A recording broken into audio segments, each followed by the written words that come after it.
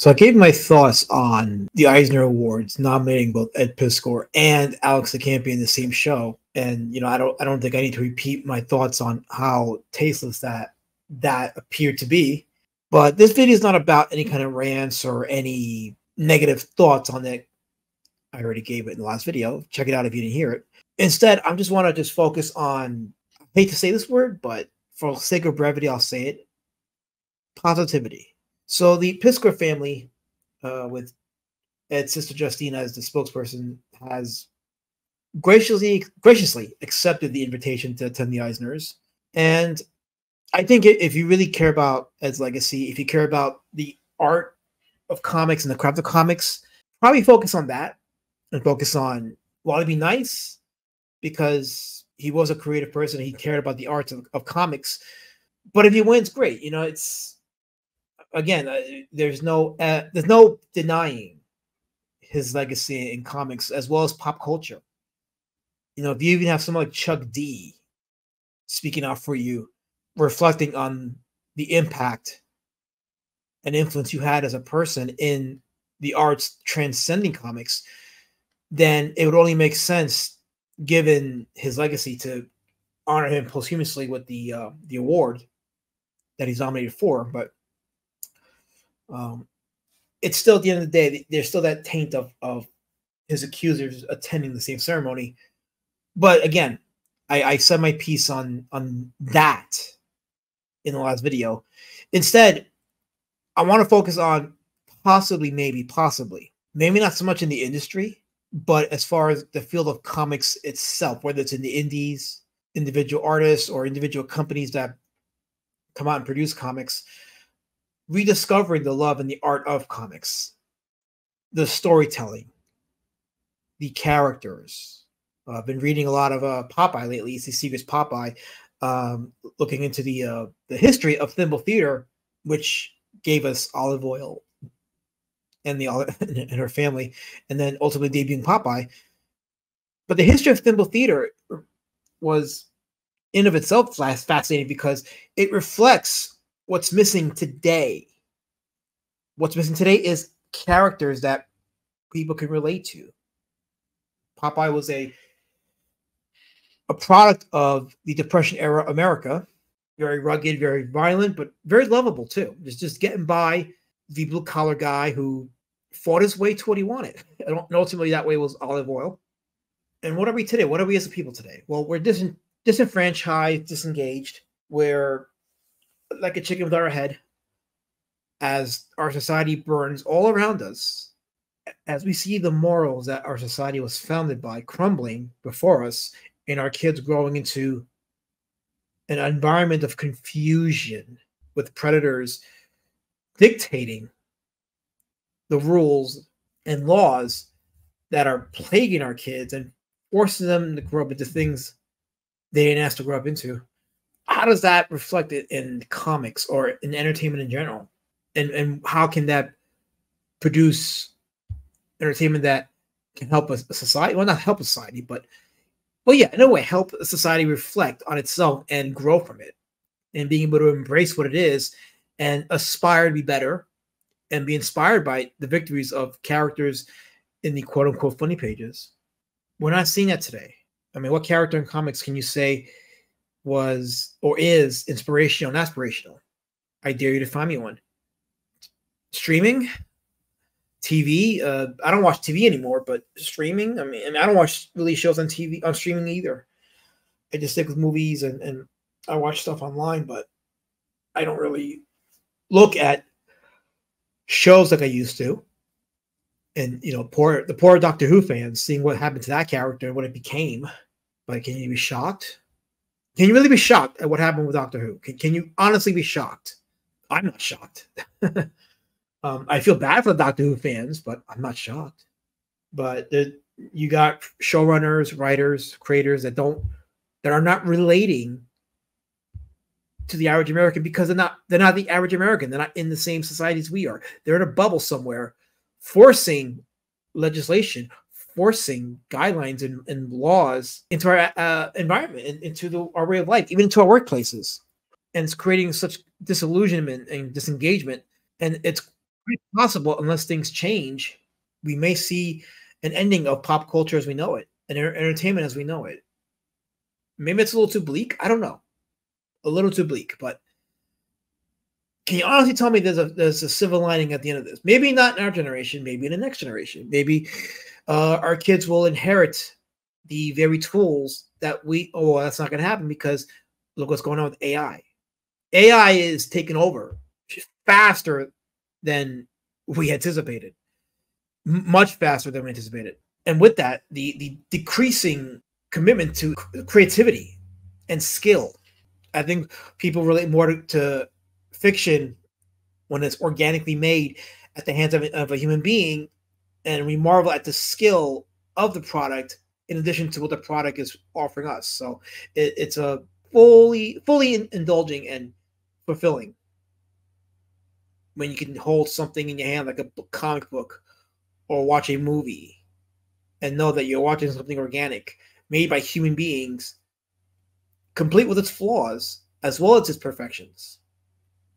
But ai is doing away with all that. Ai is ai could be just it, it could just be the only thing that, that you see on the screens on your tv screens on, on your laptop screens. That book if if we ever if we ever have physical books 20 30 years down the road I, I, I still think we will but if we ever have physical books 20 30 years down the road will it be drawn by human beings written by human beings or will it be just all ai product produced mass produced just to give a disillusioned and disenfranchised society something to do while they kill time before they head back to their their jobs their 20 hour jobs i'm being way too bleak here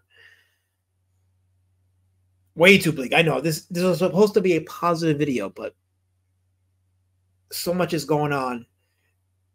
And if we want to just limit it to comics, both in the mainstream comics and the indie comic sphere, it's all shit right now.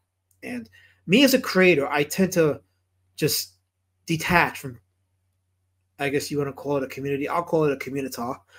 Detach from it and watch it all burn because we we're we've gone just absolutely batshit crazy.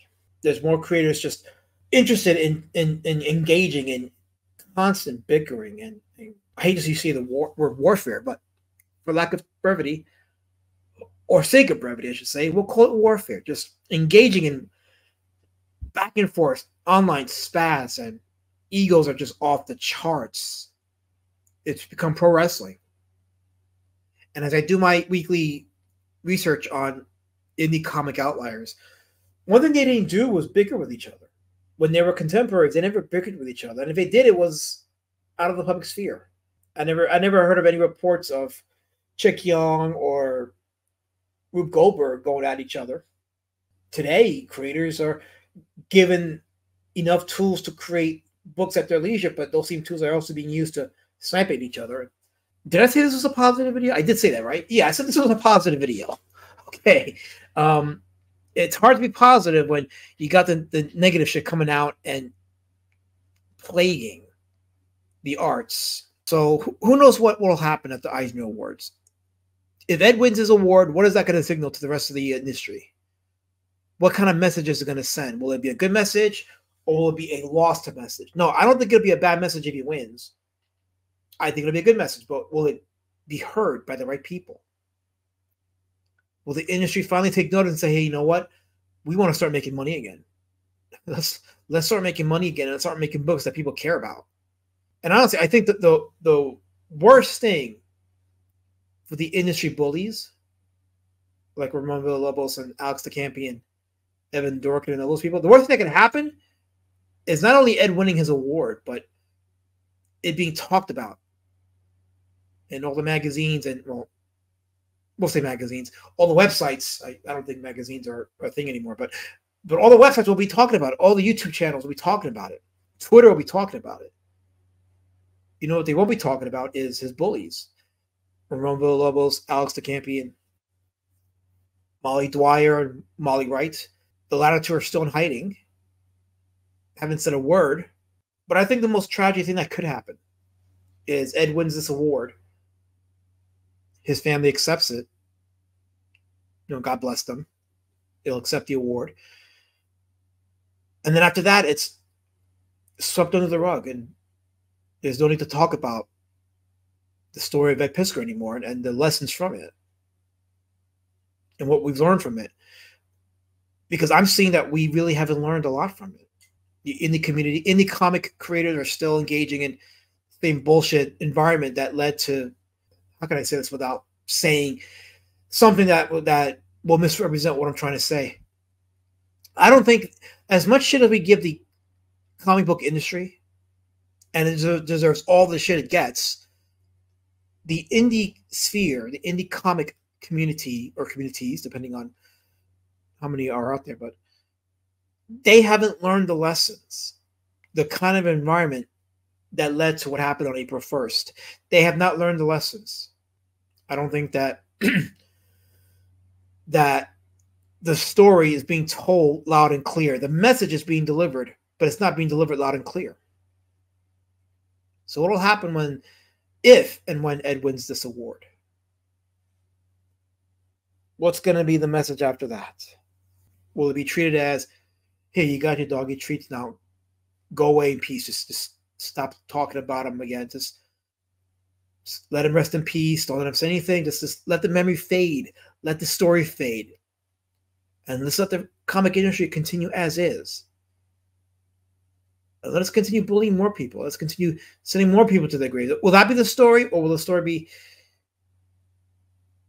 there's still a love and appreciation for the beauty of comics, the beauty of the storytelling medium of comics, and and a desire to make money off of it. Things that people want. And when, and when corporations practice real, legit capitalism, it just means that they're producing a product that they know people will want. Versus corporations or companies like DC and Marvel that produce things they think you want. Well, not that they think you want, that they think you should want. Going off a little tangent here, and I, I say to myself, it's yeah. well, let, let me let me put a pause here. Then let's just focus on this. I think uh, him winning would would be a good thing. Am I rooting for him to win? Yeah, I, I, I am, and honestly, it probably will be one of the saddest, saddest notes in comic. That this will be the last time that Ed Piskor will be nominated for anything. He won't produce anything new again. There'll be nothing left for him to produce because he's not here to produce it. No more nominations, no more contributions to the comic medium, and then what's left after that? Well, we're going to see what the comic industry does. We're going to see exactly what their plan is going forward. Not that I'm holding my breath or anything. I've not heard anything or seen anything that suggests they're turning course. If anything, they're they are accelerating their path into the dirt. And I, I really don't care. I'm, I'm too busy creating my thing.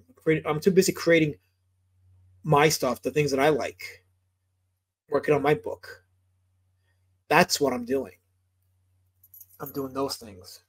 Provided we don't enter a an apocalypse of some kind, I will be uh, producing books and characters that I believe will recapture the imagination of comic fans, the same way that E.C. Segar captured the imaginations of people in the 20s and 30s with Popeye, or Chester Gould in the 30s with Dick Tracy, or Vaughn Bodē in the, in the uh, 70s with Cheech Wizard.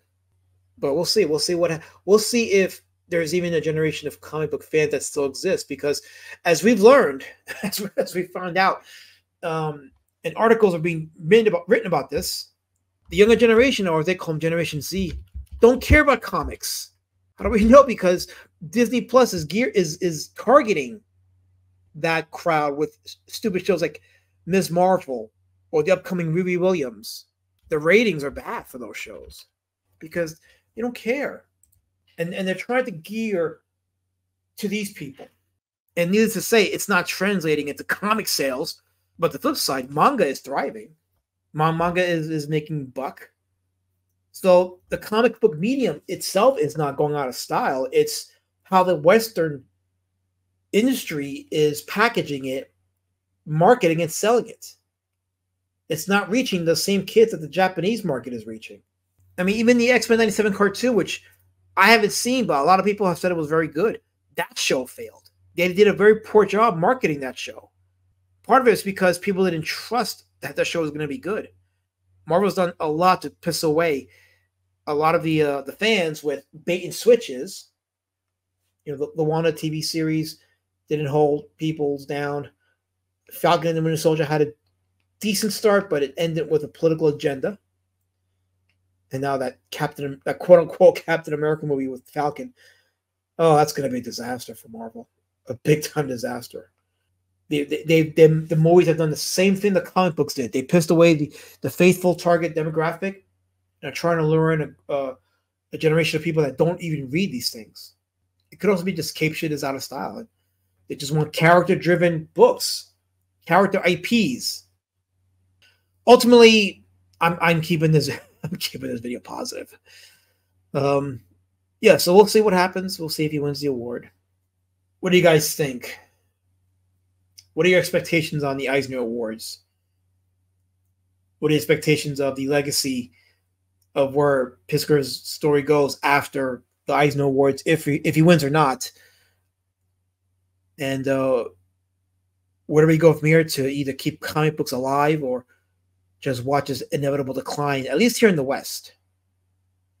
Manga's doing fine, but the comic industry and even indie comics here is suffering because of the stigma attached to the Western audience because of the comic book industry here. What are your thoughts? Let me know in the comments. I look forward to reading it. And uh, I'll talk to you guys later. Take care.